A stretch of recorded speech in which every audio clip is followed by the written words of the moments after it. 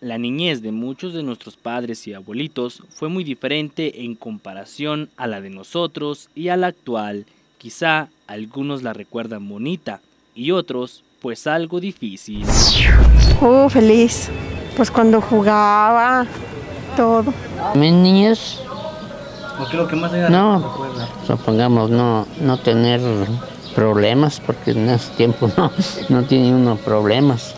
Con nosotros no hubo mucha, mucho tiempo para jugar porque empezamos a trabajar desde muy chiquillas. A la escuela nada más fuimos hasta tercero porque no teníamos para útiles, no teníamos con qué comprar lo que se necesitaba.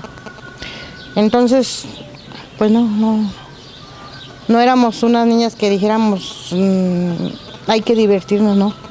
Como éramos 15 de familia, Cabe resaltar que la mayoría de las familias de nuestros padres o abuelitos eran demasiado grandes, desde 7 hasta 15 hijos, lo cual en ocasiones pudo afectar, ya que muchos de ellos no pudieron tener una infancia normal, sino que desde muy niños tuvieron que trabajar para ayudar en el sustento del hogar.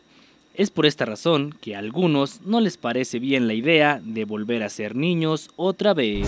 sí. ¿Por qué? Uh, pues ser niño es lo más bonito que hay. Feliz, no te preocupa nada. Pues sí me gustaría, pero pues eso no, no es posible. Bueno, porque tal vez no vivía a gusto, disfruté a gusto, un poco pobrecitos, pero como siempre había tortillita.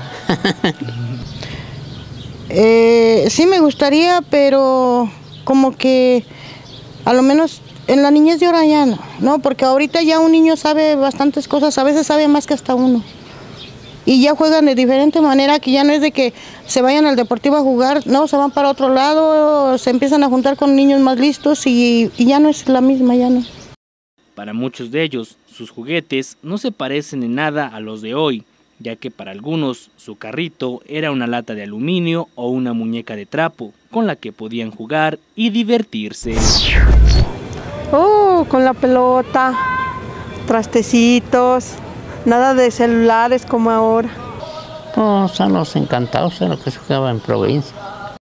Con imágenes de Oscar Ruébano reportó para Informativo Juan Miguel Villalobos de Luna.